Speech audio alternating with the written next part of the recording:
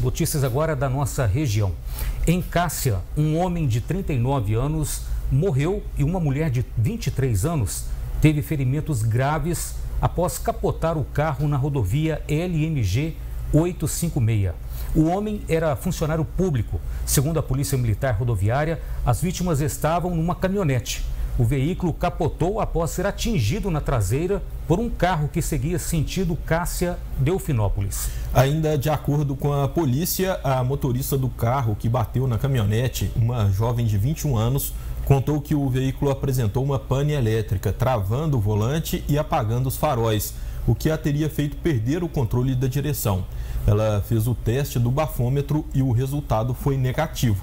Ela não ficou ferida.